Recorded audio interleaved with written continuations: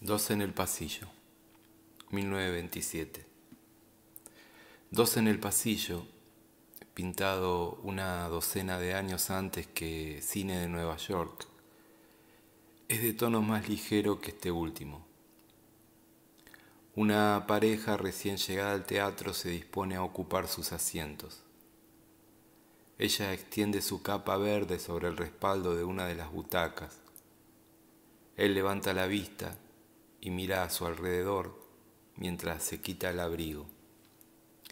En uno de los palcos hay una mujer sentada leyendo un libro, o más probablemente las notas del programa. Se ha acomodado en el asiento, ha colocado su abrigo en el respaldo y su pequeño bolso en el borde azul del fieltro del palco. No se trata de uno de los mejores cuadros de Hopper, y sin embargo es excepcional.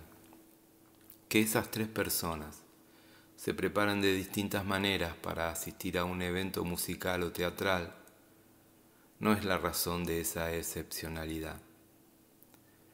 Esta tiene que ver con lo que les rodea. A donde quiera que miramos encontramos arcos que se repiten, una sobreabundancia de curvas. Ofrecen un espectáculo por sí mismas, un extravagante, casi excesivo, despliegue de armonía visual.